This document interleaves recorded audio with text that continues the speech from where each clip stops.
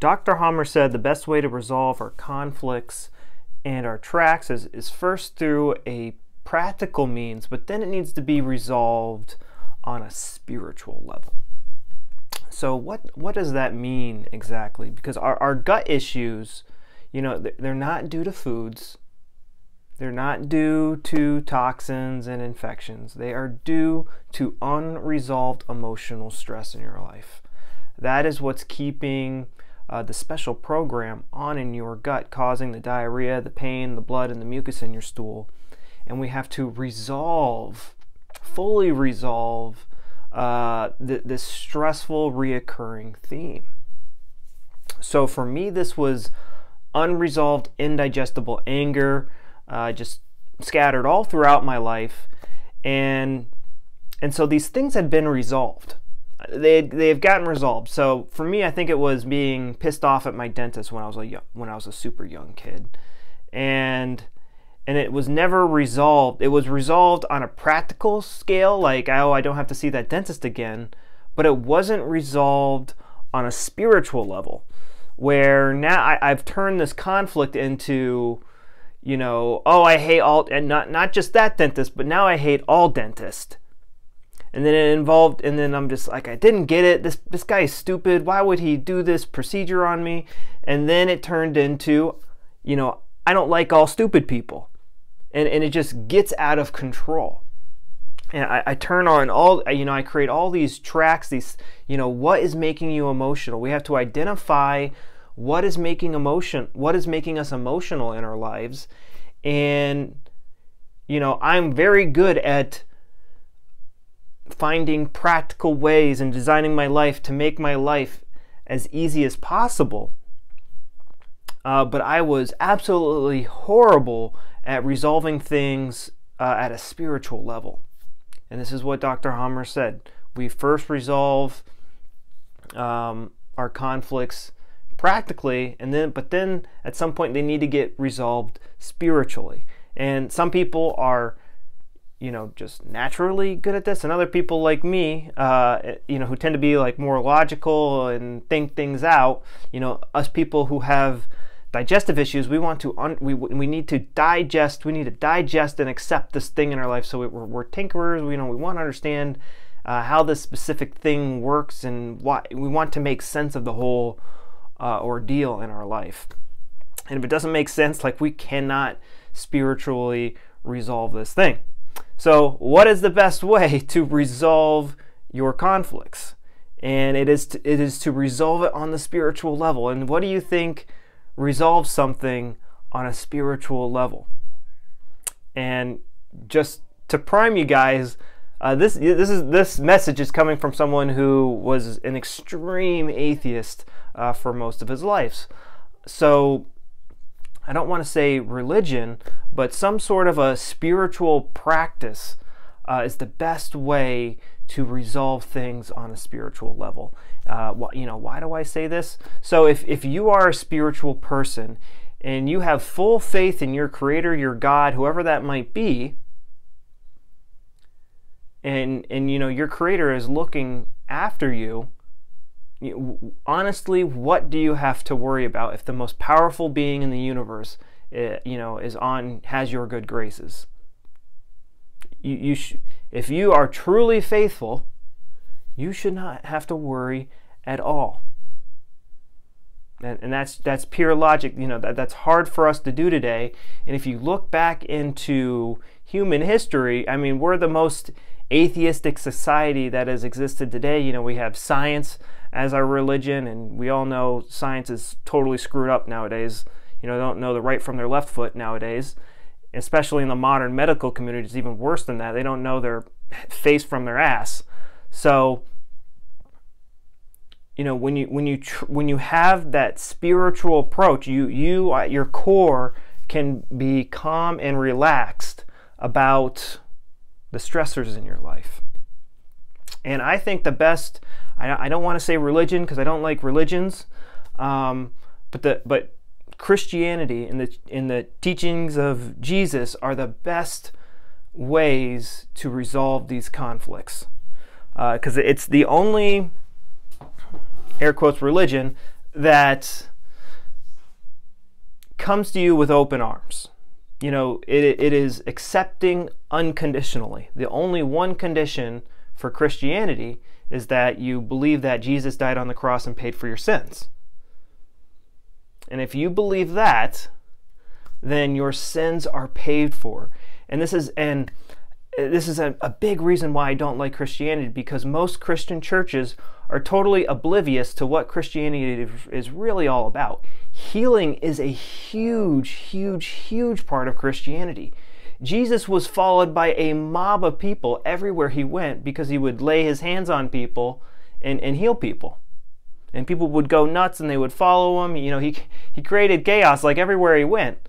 And this is just not commonly taught in Christian churches. And it also says that the believers who are baptized have the have the same power. The disciples did this. You know, if if you truly believe that the Bible is the word of God and that everything in the Bible is true, then you would you you know, as a real Christian, you know, walking the walk, talking the talk and walking the walk, you would believe that everyone who's been baptized and and who truly believes uh, has the power to lay their hands on the sick and heal them. That's crazy. I, I, I just think that's that's so cool, and there, there's there's thousands and thousands of testimonials online. But the consequences of sin, and a sin is just simply disobeying God, and you know people a lot of people think that you know the Ten Commandments are here to to bore me to death, but no, they're they're actually there to protect you from emotional turmoil. Because this emotional turmoil, this is what's going to turn on these special programs. All the fe- it's the, the favorite story I like to tell people is when God was bringing the Israelites out of Egypt and the whole time, God's like working all these miracles, and the whole time the Israelites are just bitching, blah blah blah. Oh, we don't have enough food. Ah, ah, ah. Like the whole time, then they start worshiping other gods, and the whole time, like God's like doing all these miracles for them, and the whole time they're bitching, and and that's what we tend to do today in modern culture. We have like the average poor person lives better than a king did, you know, a hundred years ago and yet we just bitch, bitch, bitch, bitch, bitch all day, all day long. And and this complaining, grumbling, this is something I did all like really pisses God off, and you're really going to lose His favor when He does this. But when but He is ready to accept you back with open arms. You know, the second that you realize that you know you're out of line, and you know are are ready to you know get your head straight. And so th- this is. So, what's the best way to resolve your conflicts? Uh, to me, it's to take the, the real Christianity approach to teach what Jesus, you know, what was teaching in the New Testament.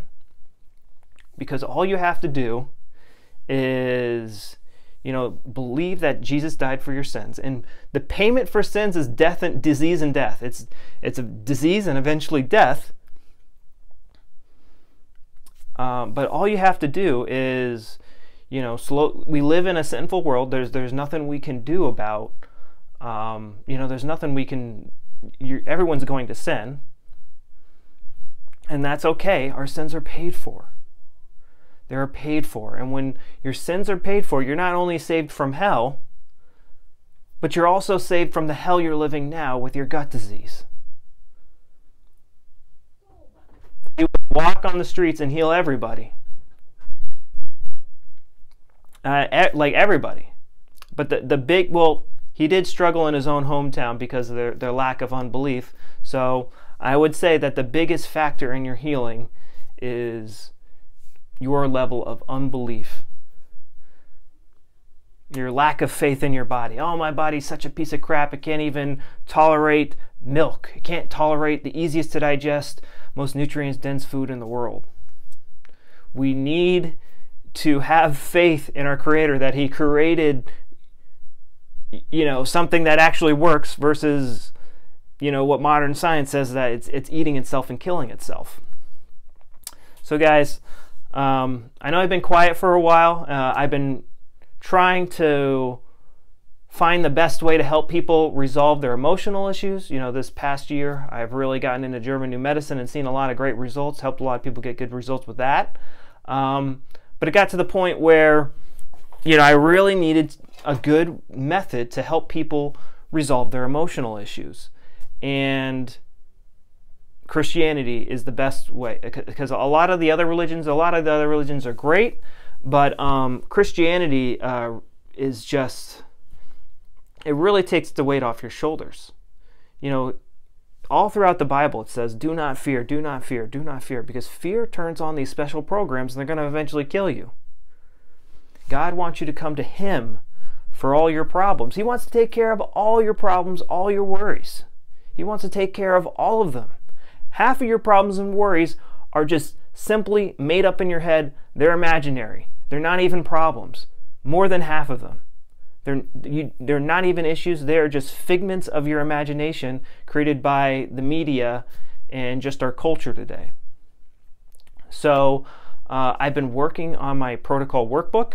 Uh, I've been added a whole bunch of information. I've added more worksheets and stuff like that. Really got it updated for German New Medicine and a lot of Christianity principles to help you, you know, get this emotional storm in your head under control. Uh, I'm working on that right now. It's going to be done in the next few weeks, and it's going to be its own standalone project. Uh, I think the price is going to be $4.97. No, the price is going to be $47. Um, and if you already have the program, uh, it comes with the program, but I will make this a standalone product um, and people will get crazy results with this. Uh, I'm really excited about it, guys. Uh, sorry I've been quiet for so long. I've just kind of been a little worn out with YouTube and, you know, I wanted to kind of get my facts straight before I started coming at you guys with uh, this how to get your emotions under control advice. All right, guys, it was good talking to you. Uh, I'll see you later. Uh, leave a comment down below, hit that like button, hit that subscribe button. It really helps us out in the algorithm. And I'll see you next time. Bye bye.